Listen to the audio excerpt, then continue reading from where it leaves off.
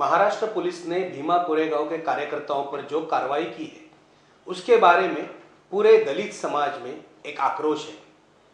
Police ने पहले कहा कि ये कार्यकर्ता माओवादी संगठन से जुड़े हुए हैं। इन्होंने भीमा कोरेगांव को फंडिंग किया है। दो दिन बाद पुलिस ने कहा कि प्रधानमंत्री के हत्या का षड्यंत्र रचा गया है। अगर प्रधानमंत्री की हत्या का षड्यंत्र रचा गया है, ये तो बहुत ही गंभीर बात है, क्योंकि इस देश ने दो प्रधानमंत्री ऐसे साजिश के कारण गवा दिए हैं, एक इंदिरा गांधी और दूसरे राजीव गांधी। अगर ये माओवादियों ने प्रधानमंत्री की हत्या करने का कोई षड्यंत्र रचा है तो पुलिस को इसे गंभीरता से लेना चाहिए था। लेकिन इन पाँच कार्यकर्ताओं की गिरफ्तारी के बाद आज तक पुलिस ने कोई भी सबूत पेश नहीं किया है। पुलिस कह रही है, इनके कंप्यूटर से दो मेल मिले हैं। ये जो दो खत है उसके बारे में सारे मीडिया में चर्चा है। एक तो पहली बात यह है कि अगर ये खत पुलिस के लिए एविडेंस है तो ये पहले मीडिया के पास कैसे गए? मीडिया मीडिया के पास तो गए, लेकिन बीजेपी के जो प्रवक्ता है, संबित पात्रा, इनके पास भी गए।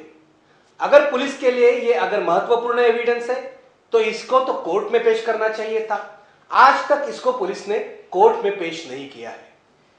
जो पुलिस ने रिमांड नोट पेश की कोर्ट में, इसमें प्रधानमंत्री के खिलाफ हत्या की साजिश का कोई ज़िक्र नहीं है। इसमें कहा यह माओवादी है। माओवादी संगठन जो है, वो महाराष्ट्र में बैन किया हुआ संगठन है। इनके संबंध है माओवादियों से। पुलिस ने चौदह दिन की पुलिस कस्टडी इनकी डिमांड की। कोर्ट ने सात दिन की पुलिस कस्टडी दी है। ये पूरा जो मामला है, बिल्कुल ही संदेहास्पद है। क्योंकि पुलिस जिस तरह से काम कर रही है, उस पर शक पैदा होता है। एक तो भीमा कोरेगांव की जो परिषद थी, एल्गार परिषद, इसके जो संयोजक थे, उस पर भूतपूर्व न्यायमूर्ति पीबी सावंत थे, जो सुप्रीम कोर्ट के न्यायमूर्ति थे, और दूसरे न्यायमूर्ति बीजी कोलसे पाटिल, जो मुंबई हाईकोर्ट के भूतपूर्व न्यायमूर्ति है, वो भी थे। तो ये कार्यकर्ता कहाँ से आए और वो क्या कर रहे थे? अगर वो साजिश रच रहे थे और इसका पता पुलिस को दो महीने पहले लगा था तो आज तक पुलिस चुप क्यों रही? जिन्होंने अपने देश में जो नक्सलवादी कार्रवाई होती है, उसका अध्ययन किया है, उन पुलिस ऑफिसर ने मुझसे कहा है कि ये खत जिस प्रकार से लिखे गए हैं, वो एक बचकाना हरकत लगती है। माओवादी इस प्रकार से खत नहीं लिखते।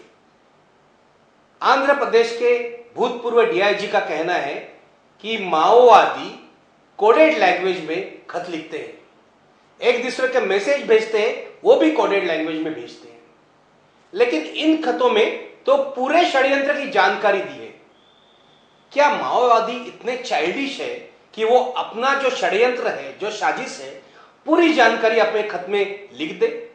दूसरा खत तो और भी खतरनाक है, क्योंकि उसमें प्रकाश अंबेडकर का नाम है, उसमें कांग्रेस का नाम है उसमें मोदी जी को जो चुनाव में सफलता मिली है, उसके बारे में ज़िक्र किया है। जो माओवादियों के या नक्सलवादियों के जानकार है, उनका कहना है, इन खतों पर विश्वास रखना बिल्कुल ही मुश्किल है। इसलिए हमें सवाल पूछने चाहिए। महाराष्ट्र पुलिस ने ये जो जानकारी हमें दी है, क्या वो सच है? या वो एक पॉलिटिकल स्टंट है? मोदी जी को पॉपुलर बनाने की ये कोशिश है, जैसे कि शरद पवार ने कहा है। मैं शरद पवार के बयान को इसलिए अहमियत दे रहा हूँ, क्योंकि शरद पवार ऐसे सनसनीखेज बयान हमेशा नहीं देते। शरद पवार महाराष्ट्र के मुख्यमंत्री रहे हैं, देश के रक्षा मंत्री रहे हैं, देश के अलग अलग सिक्योरिटी एजेंसीज के बारे में उनकी जानकारी बहुत ही महत्वपूर्ण है, उनको इसके बारे में अनुभव है। एक बात मैं आपको कहता हूँ। जब से यह भीमा कोरेगांव का आंदोलन या भीमा कोरेगांव की एल्गार परिषद या एल्गार यात्रा महाराष्ट्र में शुरू शुरू हुई है, तब से इस एल्गार यात्रा पर अर्बन नक्सलिज्म का आरोप हुआ है। यह आरोप क्यों हुआ है? आज ही नहीं हुआ है। जैसे कि जेएनयू में कन्हैया कुमार पर, उमर खलिद पर यही आरोप लगा था रोहित वेमुला पर यही आरोप लगा था या फिर उत्तर प्रदेश में चंद्रशेखर रावण पर भी यही आरोप लगा था। आज एक साल बाद भी चंद्रशेखर रावण जेल में है, उनके ऊपर एनएसए लगाया गया है। जब जब महाराष्ट्र में या देश में दलित या अल्पसंख्यक या आदिवासियों का आंदोलन उभर आता है, उसके ऊपर नक्सलिज्म का आरोप सरकार की तरफ़ से लगाया जाता है यह हमारा अनुभव है। महाराष्ट्र का दलित आंदोलन हमेशा ही बहुत ही आक्रामक रहा है। एक इस आक्रामकता से हमारी सरकार निपट नहीं सकती। अगर नक्सलवादी या माओवादी कुछ गलत कर रहे, अगर वो हिंसा फैला रहे तो इन, उनके ऊपर कानून के तहत कार्रवाई करनी चाहिए। लेकिन आप कानून का गलत तरीके से इस्तेमाल नहीं कर सकते। आप सिविल राइट्स का हनन नहीं कर सकते। पुणे पुलिस ने जो कार्रवाई की है, इसलिए बहुत सारे सवाल उस पर खड़े होते हैं। जब से ये भीमा कोरेगांव में एक जनवरी के बाद एक जनवरी के दिन हिंसा हो गई, तब से आज तक बार बार ये आरोप लगा है कि इसके पीछे मनोहर भिड़े और मिलिंद एकबोटे हैं। महाराष्ट्र पुलिस ने इन दोनों के ऊपर कोई कार्रवाई नहीं की। मिलिंद एकबोटे को गिरफ़्तार भी नहीं किया। उनको ऐसे एक अपॉर्चुनिटी दी कि वो हर कोर्ट में गए उन्होंने एंटीसिपेटरी बेल के लिए अप्लाई किया, निचले कोर्ट में किया हाई कोर्ट में किया, सुप्रीम कोर्ट में किया। तब तक महाराष्ट्र पुलिस ने उनके ऊपर कुछ कार्रवाई नहीं की, उनको गिरफ़्तार नहीं किया। जब सुप्रीम कोर्ट ने इनका एंटीसिपेटरी बेल रिजेक्ट कर दिया, तब महाराष्ट्र पुलिस ने इनको गिरफ़्तार किया। आज वो बेल पर है। संभाजी भिड़े के खिलाफ तो कोई सबूत नहीं, ऐसे महाराष्ट्र के मुख्यमंत्री देवेंद्र फडणवीस विधानसभा में बताते हैं। भीमा कोरेगांव में जो हिंसा हो गई, उसकी तहकीकात करने के लिए महाराष्ट्र सरकार ने एक समिति नियुक्त की है। उस समिति का रिपोर्ट अभी आया नहीं है। कुछ तहकीकात नहीं हुई है, कुछ प्रक्रिया नहीं हुई। फिर भी महाराष्ट्र के मुख्यमंत्री कहते हैं कि मनोहर भिड़े के खिलाफ कोई सबूत नहीं है। ये पूरा मामला जो है, शक पैदा करने वाला है। क्योंकि मिलिंद एक बोटे और मनोहर भिड़े दोनों संघ परिवार से जुड़े हुए हैं। मिलिंद एकबोटे और मनोहर भिड़े दोनों इस व्यापक हिंदुत्व परिवार के रेडिकल नेता हैं। इनके ऊपर कार्रवाई करने से फडणवीस की सरकार इनकार कर रही है। और अगर इनके ऊपर कार्रवाई नहीं करना चाहती तो किसके ऊपर तो दोष देना चाहिए? तो मुझे लगता है आज ये भीमा कोरेगांव से जुड़े हुए कुछ कार्यकर्ता जो है, उनके ऊपर उन्होंने यूएपीए लगाया है।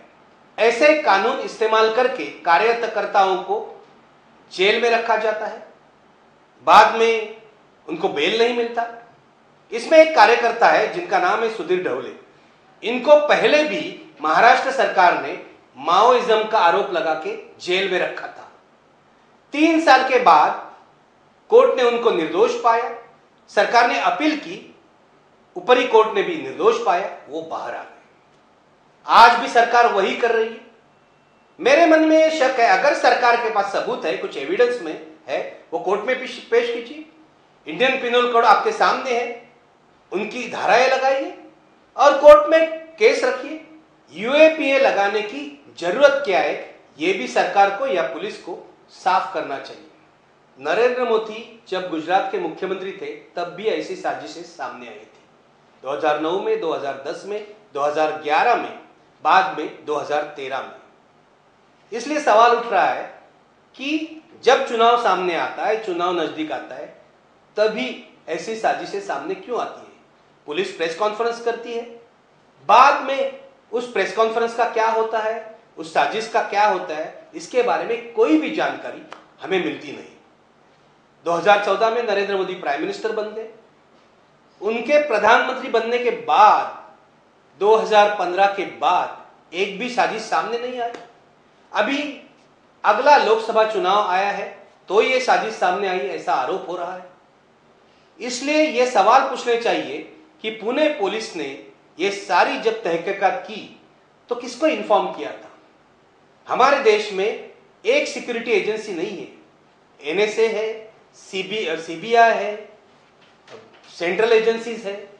पुणे पुलिस ने ये जो कार्रवाई है, अकेले की या इनको भी इन्फॉर्म किया था? देश की जो होम मिनिस्ट्री है, उसने क्या किया? उन्होंने कौन सी कार्रवाई की? उन्होंने फॉलोअप कौन से किया?